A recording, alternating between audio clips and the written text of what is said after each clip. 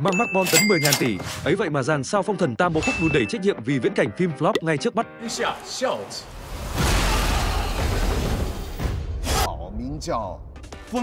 天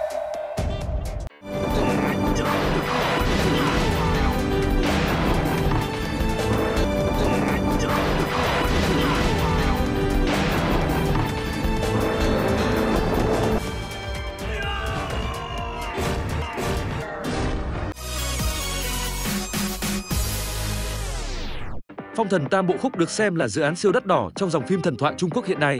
Sau nhiều năm bật vô âm tín vì ảnh hưởng của đại dịch Covid, cuối cùng bộ phim cũng được ấn định công chiếu vào ngày 20 tháng 7 tới. Vốn là một dự án rất đáng được mong chờ.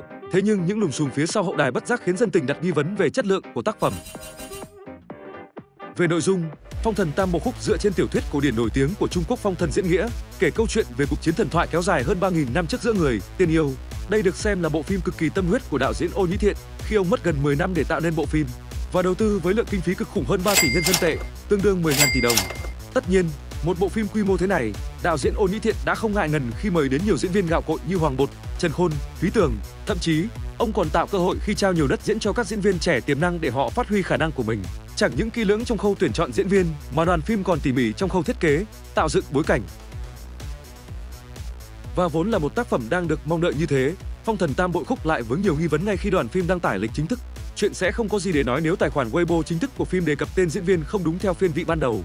Những diễn viên đảm nhận vai trò chủ chốt đáng lẽ phải được đề cập đầu tiên như Hoàng Bột, Trần Khôn thì bị đẩy đến vị trí thứ ba, thứ 15, cao cả, nhường đường cho những diễn viên phụ như Phí Tường, Lý Tuyết Kiện.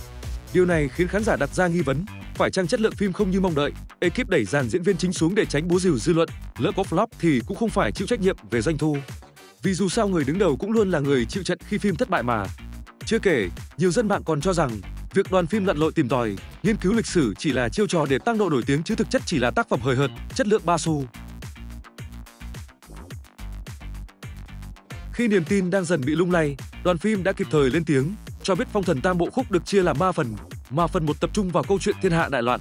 Khi trụ vương bị Hồ Yêu Đát Kỷ quyến rũ, mọi tình tiết được triển khai xoay quanh Thương Vương Ân Thọ và Tây Bá Hầu Cơ Sương, nên phần sắp xếp diễn viên sẽ có nhiều sự biến đổi.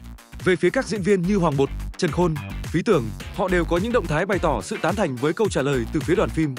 Tác phẩm là tâm huyết của cả một tập thể, hy vọng khán giả sẽ chú ý đến tác phẩm nhiều hơn những thứ tin đồn bên lề thế này. Với thị trường hiện nay, nhiều bon tấn với vốn đầu tư khủng không đồng nghĩa với việc luôn mang lại doanh thu cao. Không biết liệu Phong Thần Tam Bộ Khúc lần này có thoát khỏi tình cảnh đó hay không? Hy vọng phim sẽ thật sự thành công vì đây là tác phẩm đầu tư với quy mô lớn, lại chứa đựng tâm huyết của tất cả mọi người. Chứ với số vốn như thế mà thất bại thì e là nhiều nhà đầu tư sẽ phá sản mất.